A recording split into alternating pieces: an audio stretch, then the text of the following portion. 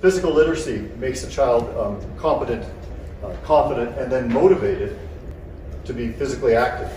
So we start to talk about what we're doing, why we're doing it, what their child has accomplished, and and how that child can then use that off, outside of the gym. And what we found over time, um, I'm stepping over here.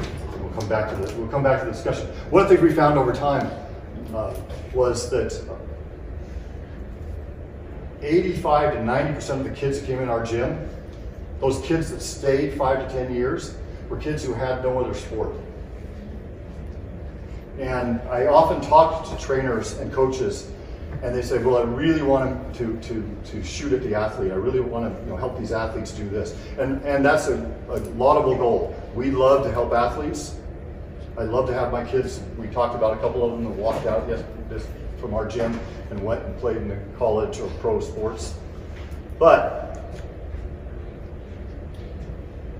80% of the population, 85% of the youth population are not those kids. We have a bigger audience if we're if we're if we're shooting and trying to be a, uh, a big tent, as many of these kids in as we can.